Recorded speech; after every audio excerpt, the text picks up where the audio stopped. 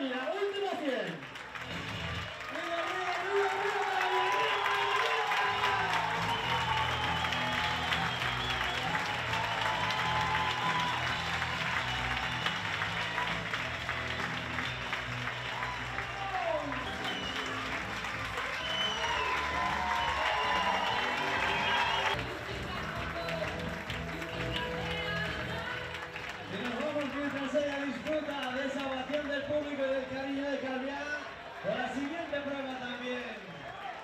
Al final la marca ha salido, que es récord de España.